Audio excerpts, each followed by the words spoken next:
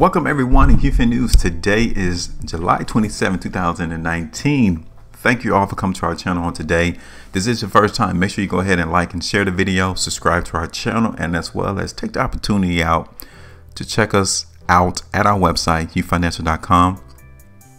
The link will be in the description of this video if you're interested. So now today we're going to give you all an update on Binance paired against the dollar and show you precisely how this market has been trading since our last video. Now, zooming in real quick, you can tell that we're expecting Binance to continue to move higher.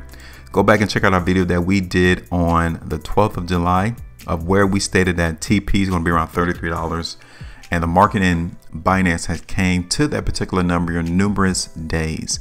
It started on the 13th to where the market hit $33.17. Then again on the 18th of July, the market hit $33.30. And then it happened on the 22nd of July when the market came and hit $33.12. So there's numerous days to which profit could have been taken at our TP price. And it continues to reflect to you that the market was having a very hard time to maintain the ability to move higher. So considering that we had numerous times to take that profit out of the market, we will consider this one a pretty good trade.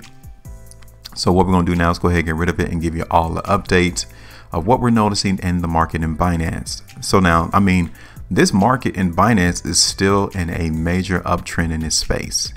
Um, I suspect though that this ascending line that we got drawn in our chart may needs to be adjusted just a tad. So maybe we, if we can bring this down here, could give us a better depiction of what the market is talking about. Okay. So we're going to hold that there. But all in all, we're still seeing the ability in Binance to continue its projection higher in price. Now today though, we're getting more weakness coming to the market in Binance. Considering that we came all the way up there to $30 today, we're still closing towards the low end of the bar right now tells us that the market in Binance is still weak. Okay. The question is, is if $27 is going to be support.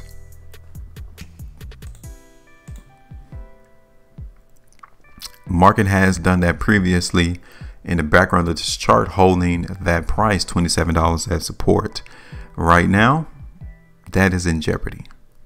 Okay. We need to see some volume reappear where we are now in Binance in order for us to hold that. Okay. So right now the market is trying to go through that transition.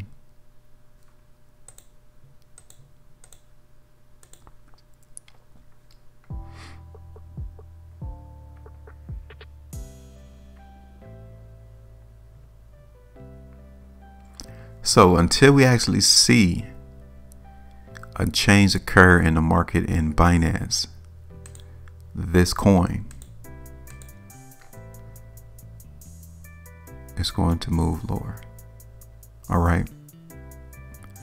Now, as soon as I upload this video to YouTube, the market may have actually created enough support to where it will be moving higher.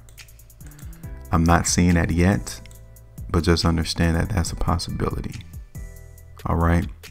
So what we're going through in the market in Binance though is really consolidational trading.